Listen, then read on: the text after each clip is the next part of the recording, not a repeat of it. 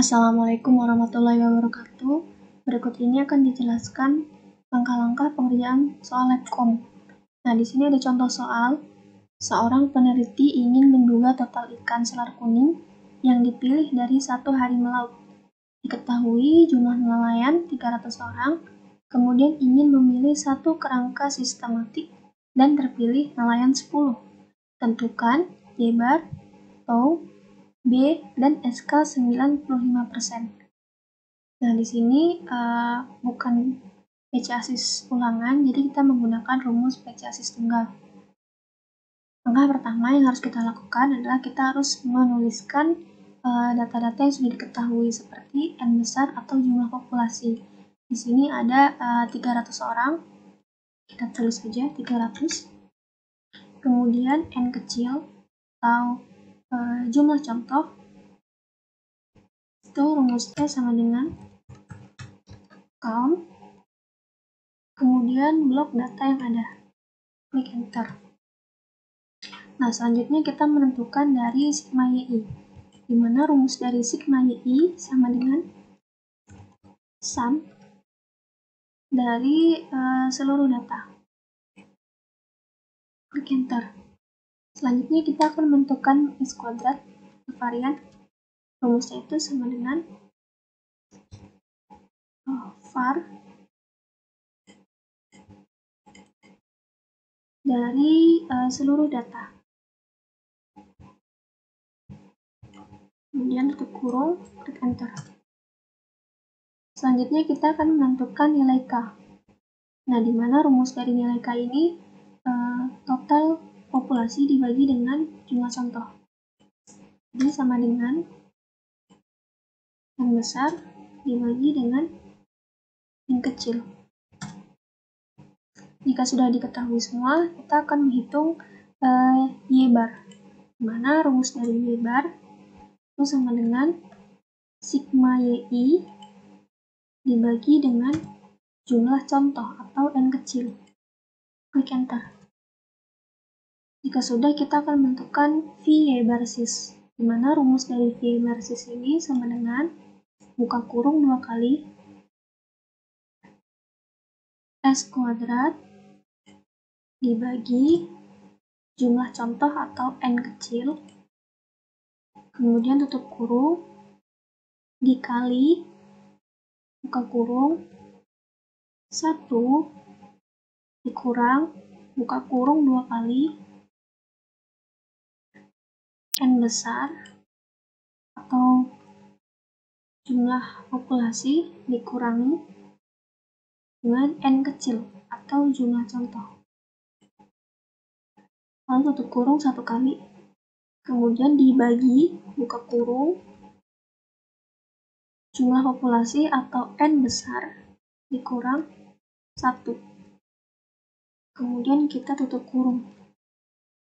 Satu, 2, 3, 4. Diperhatikan tanda kurungnya, lalu klik enter. Next, kita akan menghitung nilai B atau batas kesalahan. Di mana rumusnya ini 2 dikali akar akar itu berarti SQRT dari VY basis kurung klik enter. Nah, selanjutnya kita uh, dapat menentukan SK 95%, di mana rumusnya ini Y bar plus minus B. Sini langsung aja, sama dengan Y bar minus B, enter, dan Y bar ditambah B, enter. Nah, untuk uh, Y bar diketahui, sekarang kita akan menentukan tau, di mana rumus dari tau ini uh, jumlah populasi dikalikan dengan Y basis. Jumlah populasi berarti yang N besar dikalikan dengan Y bar, Y basis. Enter. Selanjutnya kita akan menentukan Vito, di mana rumusnya sama dengan buka kurung jumlah populasi dikuadratkan atau N besar dikuadratkan kemudian tutup kurung, dikali dengan Y barsis, Y barsis. Klik enter. Nah, selanjutnya kita menentukan batas kesalahan. Rumusnya sama seperti tadi. Sama dengan 2 dikali uh, akar dari Vito. Akar berarti SQRT. Dari Vito. Kurung. Enter. Jika sudah diketahui, maka kita dapat menentukan SK 95%. Nah, rumusnya uh, sama ya, tau plus minus B. Berarti tau minus B lalu tau plus B. Dari sini kita dapat buat interpretasi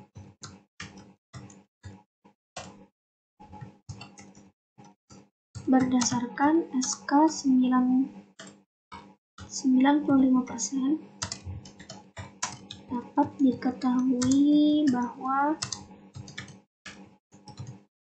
rata-rata contoh total ikan selar kuning berkisar antara lihat yang bagian uh, sini. Berkisar antara 5,390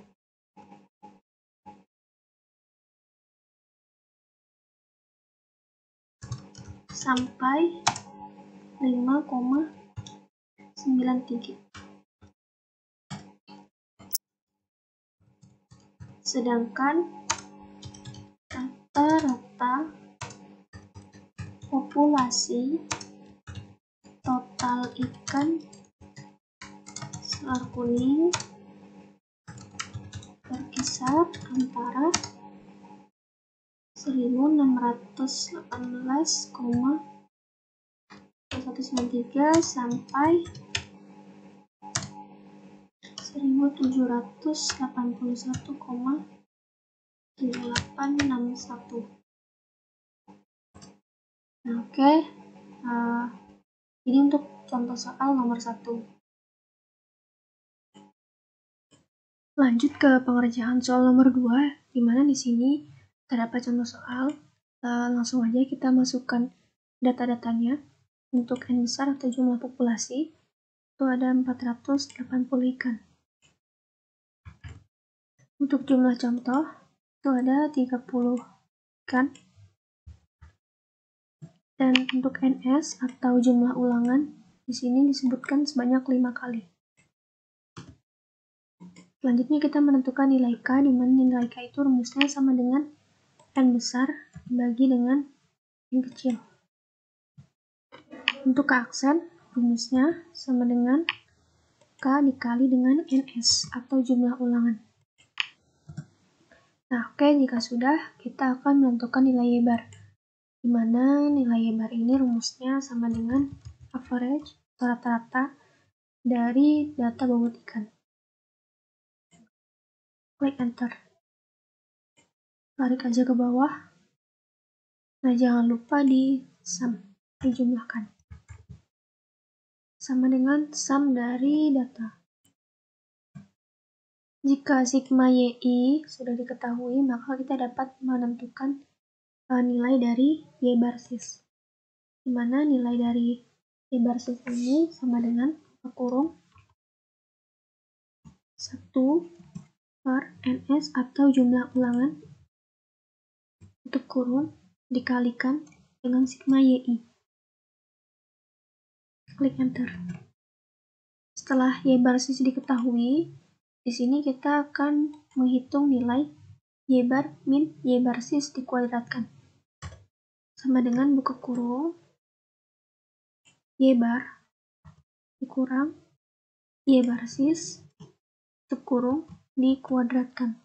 Untuk mempermudah, maka Y basis ini di string atau dikunci dengan cara klik Fn F4 atau kalau laptopnya nggak bisa klik Fn F4 cukup klik F4 tapi yang nggak bisa juga silahkan ditambahkan uh, lambang dolar secara manual seperti ini. Oke, klik enter. Kalau sudah, tarik ke bawah. Jangan lupa juga untuk dijumlahkan atau sum. Klik sama dengan sum log data. Um, jika sudah diketahui sigmanya, maka kita dapat menentukan nilai dari uh, V basis. Rumusnya itu sama dengan buka kurung dua kali n besar atau jumlah populasi dikurangi dengan n kecil. Tutup kurung dibagi n besar atau jumlah populasi. Kemudian tutup kurung dikali buka kurung sigma dari y bar min y bar sis. Kemudian dibagi buka kurung ns atau jumlah ulangan dikali buka kurung ns jumlah ulangan dikurang satu. Perhatikan untuk tanda kurungnya. Jika sudah, klik enter. Selanjutnya, menentukan batas galat atau batas kesalahan. Rumusnya sama dengan 2 dikali SQRT dari uh, V basis. Klik enter. Jika sudah, kita dapat menentukan SK 95% dengan cara Y bar plus minus B. Langsung aja, Y bar minus B dan uh, Y bar plus B. Untuk rata-rata contoh sudah diketahui, maka kita akan mencari dari eh, rata-rata uh, populasi atau tau, di mana rumus tau ini sama dengan n besar atau jumlah populasi dikalikan dengan Y basis. Klik enter. Selanjutnya nilai dari Vito, di mana rumusnya sama dengan bunga kurung jumlah populasi yang dikuadratkan dikali dengan Y basis. Klik enter. Next, untuk nilai batas galat sama dengan 2 dikali SQRT dari Vito. Enter. Nah, untuk nilai SK 95%, itu rumusnya tau plus minus B. Tau minus B. Kemudian tau plus B. Nah, jika sudah diperoleh angka-angkanya, maka kita akan membuat interpretasi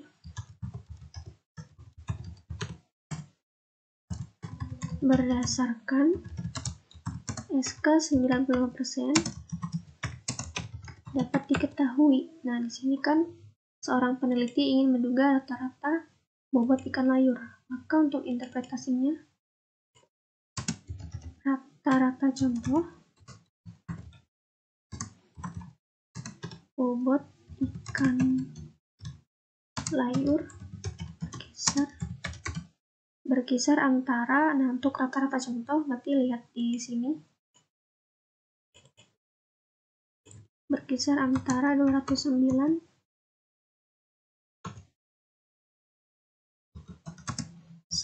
sampai 235,7528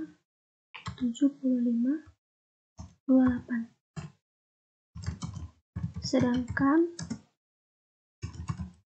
rata-rata populasi bobot ikan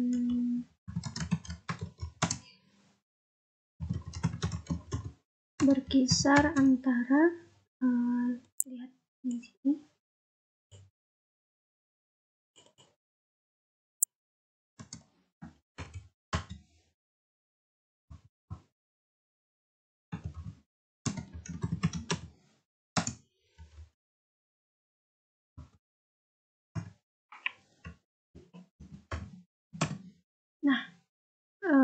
demikian cara-cara dari pengerjaan soal lab count. Uh, Eh, apabila ada kesalahan, eh, saya mohon maaf. Wassalamualaikum warahmatullahi wabarakatuh.